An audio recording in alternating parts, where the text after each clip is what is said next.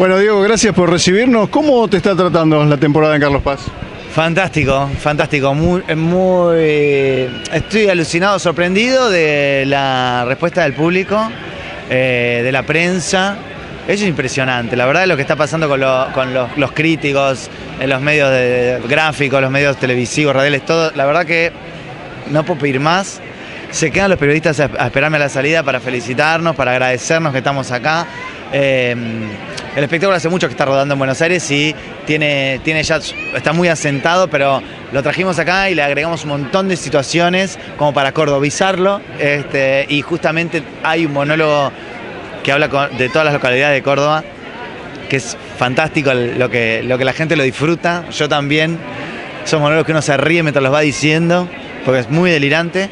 Em, em, y, también por ahí la gente se sorprende con un espectáculo de, este nivel de, virtuosismo, ¿no? Porque acá hay mucho canto, mucho baile. Em, entonces eh, mis compañeros son muy talentosos y entonces hay algo fino, sofisticado arriba del escenario, pero no por eso no deja de ser eh, muy fácil de ver, muy popular.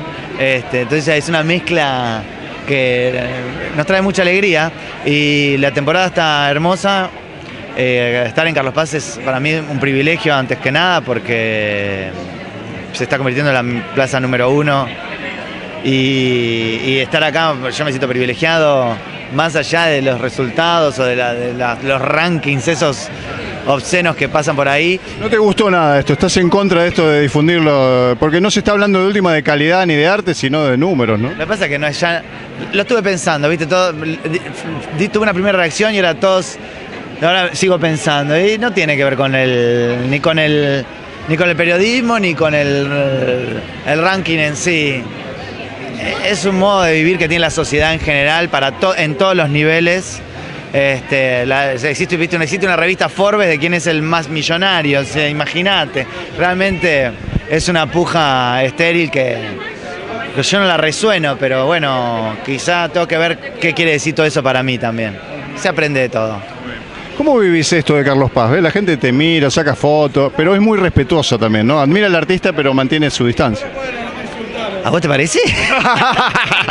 bueno, digo, el que vive, por ahí hay que diferenciar el que vive en Carlos Paz, que es más que el turista, ¿no? Eh, la gente... ¿Cómo lo viviste los primeros días? Cuando estabas acá antes de debutar y antes que se abriera la temporada. Eh, la, eh, la gente era distinta por ahí.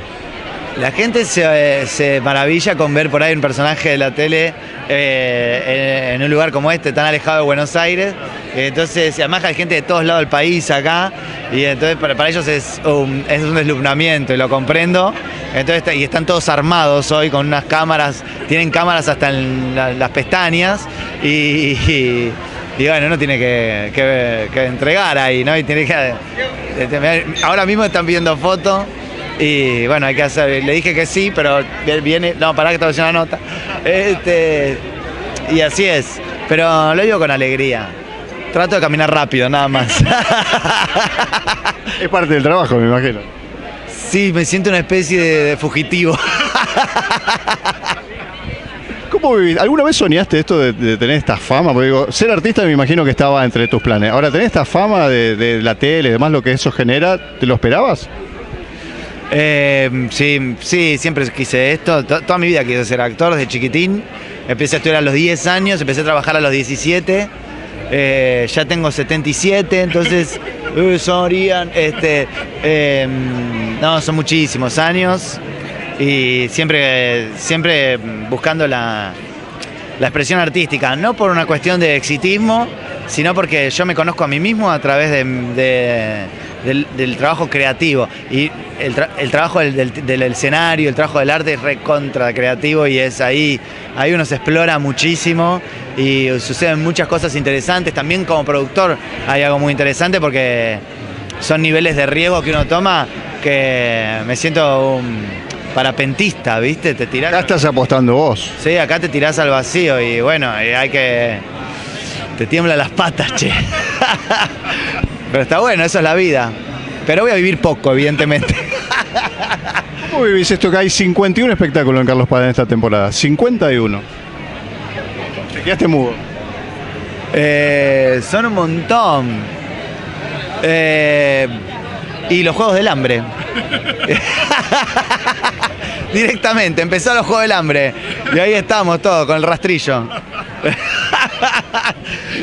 no la levanto en pala, pero bueno, tengo ahí una cucharita para, Cucharitas para todo. rasqueteando ahí. El nuevo programa, Cucharitas para todo, del Gobierno Nacional, ¿te parece? Me encanta, me encanta. Un subsidio para el teatro, por favor, gracias. Gracias, Diego. No, por favor, lo que necesites, acá me tenés. No me dejes ahora, porque mirá lo que es esto.